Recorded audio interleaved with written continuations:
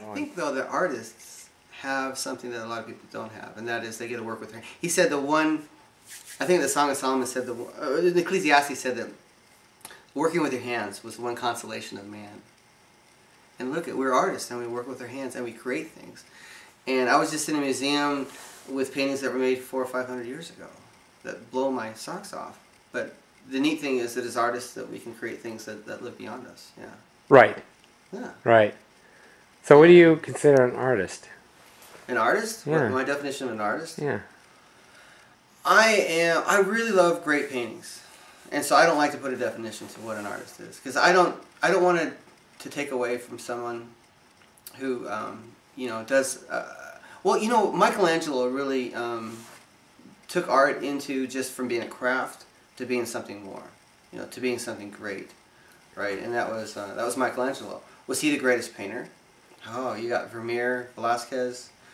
Um, It all depends on someone's Sargent. eye too. Yeah, for landscapes, you got George Inness and uh, Albert Bierstadt. And uh, today, I know we got a guy, uh, what's his name? Oh, I can't remember it right now. He does Grand Canyon, cute, gorgeous. Wilson Hurley, he's really good. Um, but I'm studying art all the time. Yeah. You can talk about any genre.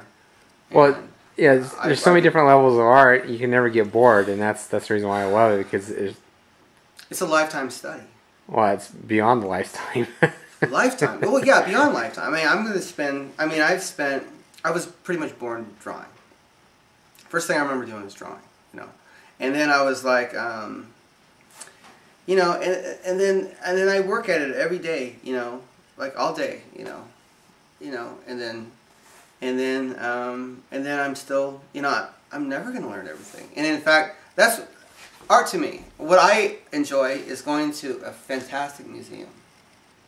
I'm sorry, I don't really. I'm not a big fan of pop art or modern art that much. right? No, that's fine. Every yeah, Or uh, I mean, I actually physically got sick. I was at the St. Louis Museum, and they and they had um, they had these beautiful paintings on the bottom floor, right? But then you went up to the um, the modern art section. I'm like, what's going on? I mean, what?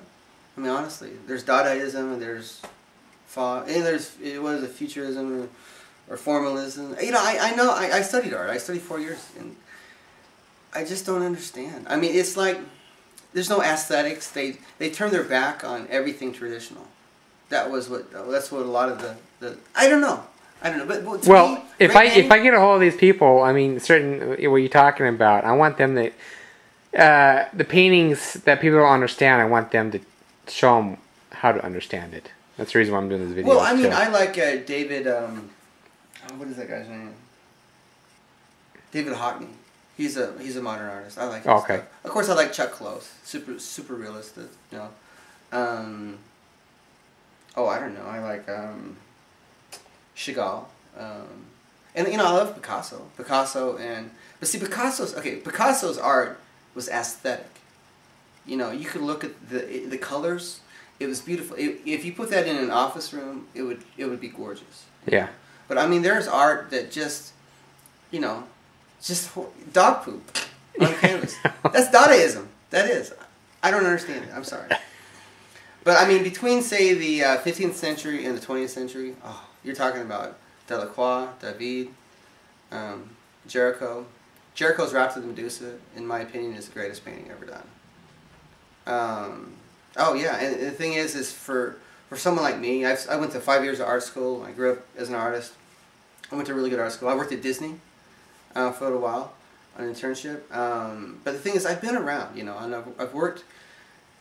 I mean, there. I mean, you go and you see a, a Sargent, or I mean, and you could just, you know, it's just there's so much there.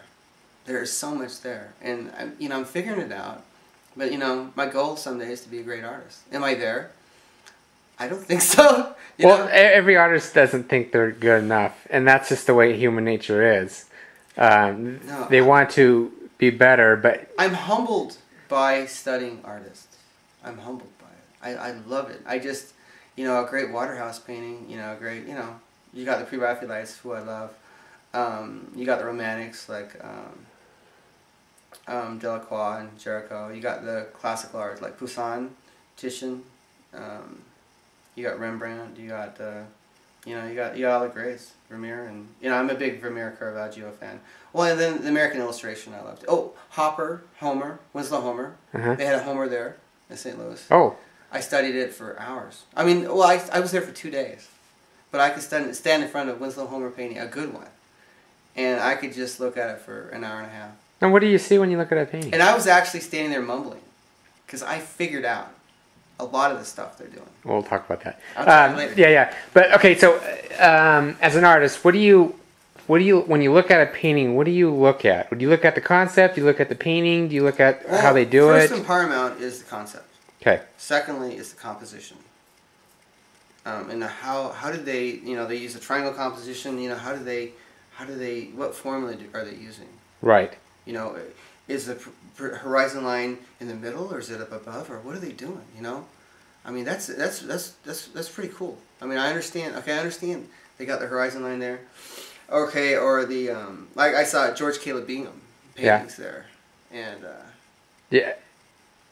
Now you look for the colors too, right? all the And- colors And the the, colors. the colors is what I'm really figuring out Right. is that there's a mysterious color that, that a lot of artists use that I'm I finally put my thumb on it. I actually understand. I did a little test over here. Little test sample. Yeah.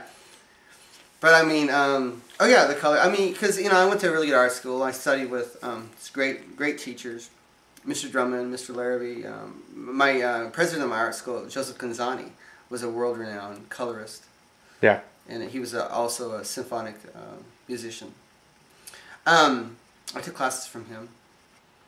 Um, I even took uh, when I was at Disney. I took classes from Burne Hogarth, who was a great drawer. He's probably the most world-renowned drawer, you know. And I got to work with Aaron Blaise. He's my roommate. He directed Brother Bear. And, Oh yeah, I remember you talking about that. And I got to work with Glen Keane, and my my guy that I worked with, Matthew Matthew Callahan, directed uh, uh, Curious George. But I worked with a lot of good, great artists. Well, well, Glen Keane, when he in his office, he had surrounded by great drawings. He had like little clippings of of Albert Dürer drawings, you know, so he, studies, he he studies it when he's working. Watteau drawings. Yeah. Oh Yeah. yeah. Figure drawings. Yeah. Well, that, that's why, like, study. when I go to museums or art galleries stuff like that, I always I look for that what you were talking about. Well, I go between the 15th century and the 20th century. Yeah. I, I look at all kinds of artwork. Yeah. I mean, something always grabs me. I say, oh, that would be nice if I could do something like that, or or how did he do that, or she do that, and um, Oh, Rosa Bonheur, they had one there that I studied for a long time. yeah, And in my opinion, she was the greatest wildlife artist. Although today I like I like Robert Bateman a lot and Stephen Lyman yeah, and um, Geico Leash is pretty good. Wilson, Nicholas Wilson's pretty good. I don't know. I I love art to the point where I, I, I, I, I could you could take me to a museum, you know, and I could just, you know, I could tell you who did them. yeah. Oh yeah. I can take you to the Louvre.